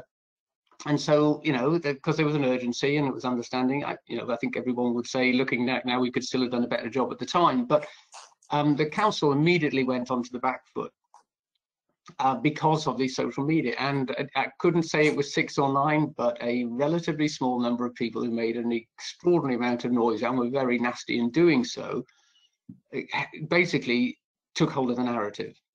And as we often know, that the the, the, the, you know people who would be um, for the message were quiet because they were rather cowed by that, but also people who don't care so much, but might be somewhat in the middle of that smile curve. Yeah, no, that's okay they're not prepared to step out or know too much about this. Um, and so what you, but but also what was an example of the, the council who, um, uh, and I won't mention it, or indeed the, the colour, but they, they are supportive of it. Their manifesto was talking about all, all these things as well, and broadly speaking, they're absolutely supportive of these kinds of measures but what was struck me as interesting was the two other main parties um, both lobbied against hard because even though in another authority they be the people putting the stuff in, it's just considered they thought that locally this is good news for us at the ballot box. So it's not just the government is failing to do that. What you find is national parties generally are, are, are unable to keep local people in line because at the local level they just think, aha, this is making the incumbent uncomfortable and I will push for this. Even and so we're seeing parties that uh, in, in this here in, in this borough in question, actually they were the people who got the climate emergency mo motion through and we're very proud to have done that, arguing against that, or for all sorts of specious reasons. And I think this rather comes back to, and yet at the heart of this, having now just taken the measures out literally last week, the council in question does not know what the public at large thinks still doesn't know. It has done a few surveys, Survey Monkey here, or this, that, there, and that, and the other. It still doesn't know. It still doesn't know what the general public think. It hasn't done that exercise of trying to work out, doing some randomized surveys, what people think. But the noise associated with this was sufficient. And I can't say that it was tiny, but I suspect it was relatively small.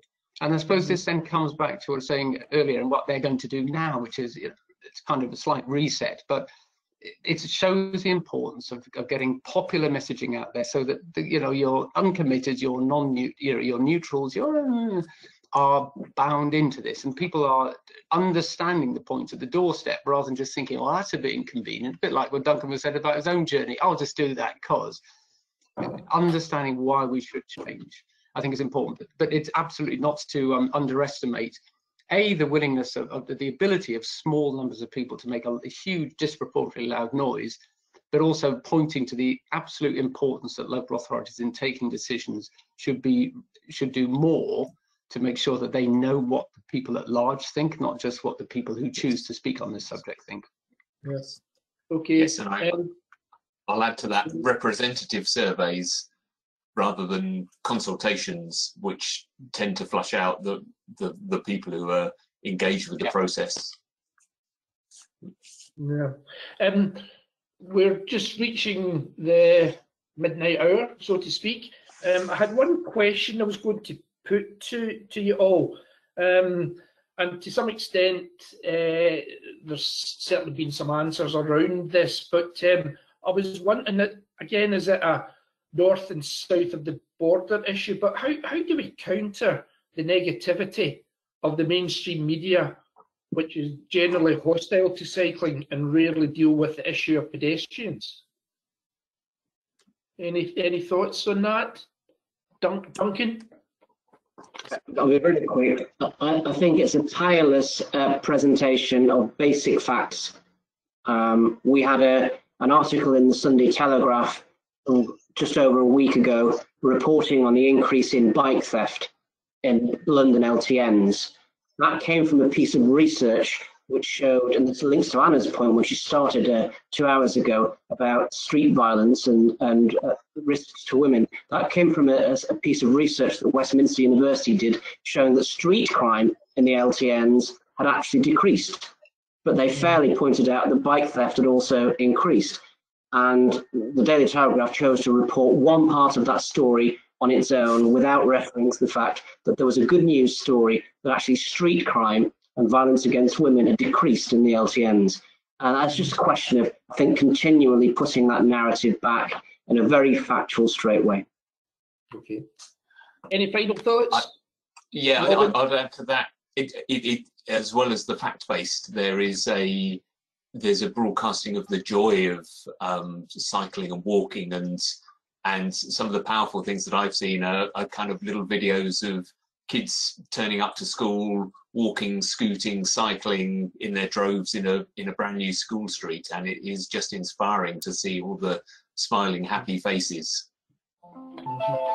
That's great, folks. Um, Marshall, Marshall, can I just, Marshall, can I just come in very, very quickly? I'll, I'll be all of 30 seconds and say, Yep. I think I totally agree that all of this has to continually be um, rebutted and, and we have to get the evidence out there, but there's an element that we the media will say what the media will say and we have to just keep going. Um, and i think if for example you know we, we see examples where um, it's all the claims that the sky will fall in the high street will collapse everything will be terrible and then the schemes go in and actually life is better afterwards. And i think there's an element of we just have to get a lot of this work on the ground and then point to it and say to people but all the things that the media are saying it's not true. Look it's okay. Your high street's doing great or isn't this nicer or it's more peaceful? Um, and they start to see the positivity and i think we just we're, we're, we're nearly there. We just need a few more schemes on the ground i think to create that critical mass but there's an element of just having to, to push on through That's great, Anna. Thanks for that. Um, that seems like a very good point just to, to wrap up. Could I thank all the speakers for their time and contributions this afternoon? We could have gone on for another hour quite quite easily.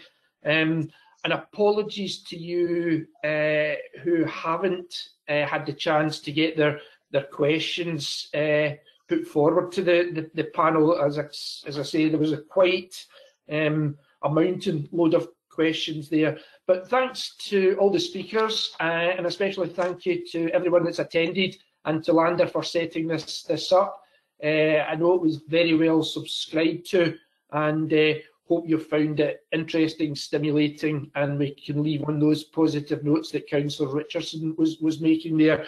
Could I just remind everyone that um, there has been uh, or there will be on-demand recording and slides will be sent to all the delegates and they'll be posted on YouTube and uh, the details will be emailed to, to all the, the delegates. So thanks so much for your time this afternoon and um, safe journeys home, indeed, if you're in the workplace. Thank you.